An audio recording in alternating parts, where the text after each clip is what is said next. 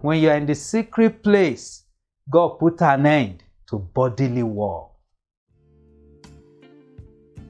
Welcome to today's DDRX. Uh, today I will wrap up the prescription of dwelling in the secret place. Psalm 91 1 to 2. He who dwells in the secret place of the Most High shall abide under the shadow of the Almighty. I will say of the Lord, He is my refuge and my fortress, my God, in Him I will trust.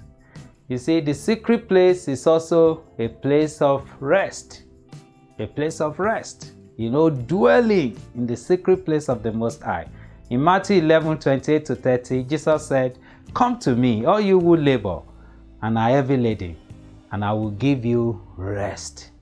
Take my yoke upon you and learn from me, for I'm gentle and lowly in heart, and you'll find rest for your souls. For my yoke is easy and my body is light. You see, this rest simply means the absence of war. The absence of war. So, when you come to Him, when you're in the secret place, God put an end to bodily war, physical war, be it sickness, like the man in Mark 2 1 to 12 that was brought by his four friends. Jesus reached out to him, he was made whole.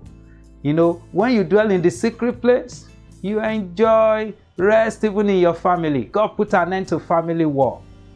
We read about Jacob and Esau. They were enemies, but they were turned to friends. You know, when you dwell in the secret place, you know, you have rest from every form of financial war. Someone that is in debt is not at rest. Like that woman, the woman, the wife of the prophet in 2 Kings 4 1 to 7. The creditors even came to take away her children, her only hope. But God reached out to her. So when you dwell in the secret place, you have rest from emotional war. You know, there are no sorrows in secret place. Psalm 16 11.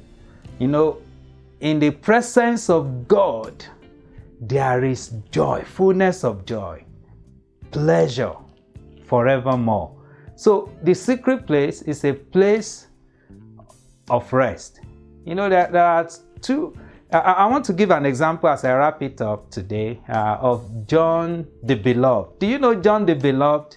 If you read about this guy in Luke 9 51 to 56, Luke 9 51 to 56, you will see he was a man that told Jesus Christ and his brother that they should call thunder upon their enemies.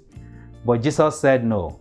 But this same man, you know, when he started to dwell in the secret place, you know, God changed him. In 1 John 4 7 to 8, look at what he wrote Beloved, let us love one another, for love is of God. And everyone who loves is born of God and knows God. He who does not love does not know God, for God is love. So changes take place in the secret place. Rest happen in the secret place. If you dwell in the secret place, God takes care of your enemies. God give you rest round about your border. Stay in the secret place.